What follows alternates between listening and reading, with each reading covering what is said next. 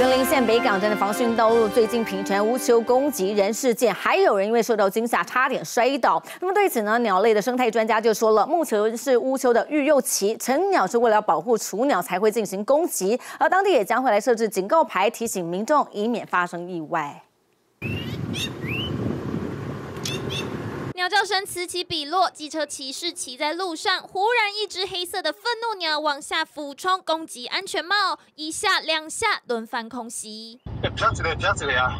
一一开始会紧张啦，啊，规顿行几摆了后，你就感觉讲啊，这就是正常的啊。这里就位在云林县北港镇北港西的防汛道路，当地天空之桥等景点进行的绿美化，也吸引乌球筑巢。七月育幼期，两只比麻雀还大的乌球变成愤怒鸟，不管是在提防种花或者只是经过，只要太靠近鸟巢，乌球就会攻击。不少经过的民众都难以幸免。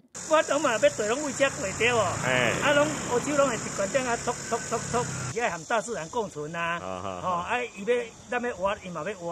机车经过的话，可能有吵杂声呐，他会认为说，哎，是不是受到人的骚扰或攻击？骑车的时候自己小心一点，然后尽量就是不要穿浅色的衣服。民众说，想要避免被啄，可以选择浅色安全帽或衣物，但其实攻不攻击跟颜色完全无关。攻击与否取决于乌丘幼鸟受到的威胁程度和安全帽的颜色。